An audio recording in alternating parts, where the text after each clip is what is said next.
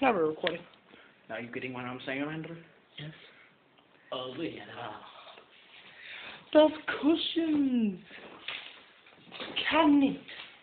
Kind of reminds me of my place. kind of reminds you you just want to grab yourself a big cold one.